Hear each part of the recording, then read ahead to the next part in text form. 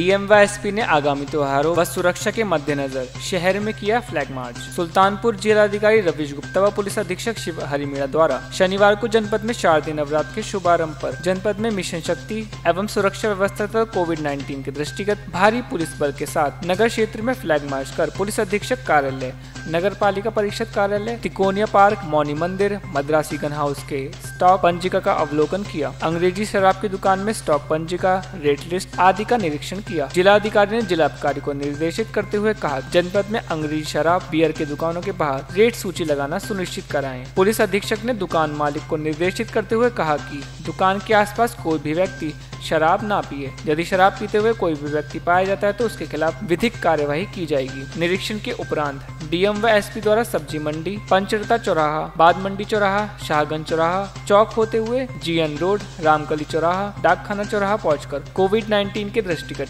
जन सामान्य से सोशल डिस्टेंसिंग का पालन करने व मास्क लगाने हेतु जागरूक किया गया। इस अवसर पर अपर पुलिस अधीक्षक शिवराज, सीओ सिटी सतीश चंद्र शुक्ला, जिला कार्य अधिकारी हितेंद्र शेखर, प्रभारी निरीक्षक नगर कोतवाली सहित भारी संख्या में पुलिस बल आदि उपस्थित रहे।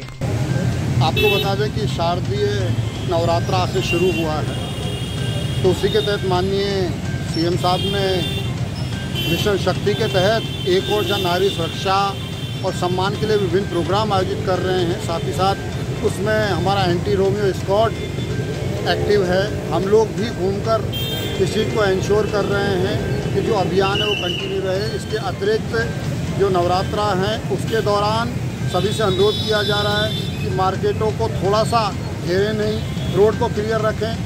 जो कोविड 19 है उसको लेके भी लोगों को अलर्ट किया जा रहा है तो व्यापक एक इंद्रधनुष अभियान के तहत हम लोग, हम जिलाधिकारी महोदय निकले हैं और निश्चित रूप से हमारा प्रयास ये है कि सुल्तानपुर की जनता को जागरूक किया जाए ताकि वो कोविड से बच सके। साथ साथ आगामी त्यौहारों को सुरक्षित और साथ ही साथ स्वस्थ, वर्धक वातावरण में हम लोग मनाएँ। यही अंशोर करने के लिए हम लोग